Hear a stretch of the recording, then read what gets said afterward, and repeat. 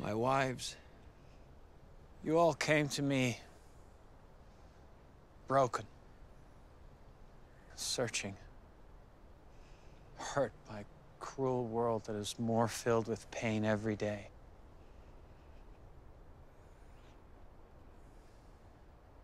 I took every one of you in. I protected you. I sacrificed my life for you. I gave you shelter. I gave you daughters and sisterhood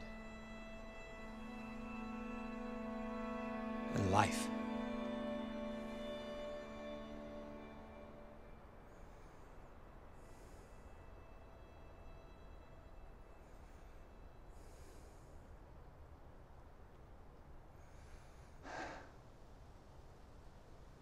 Let us pray and reflect on our blessings.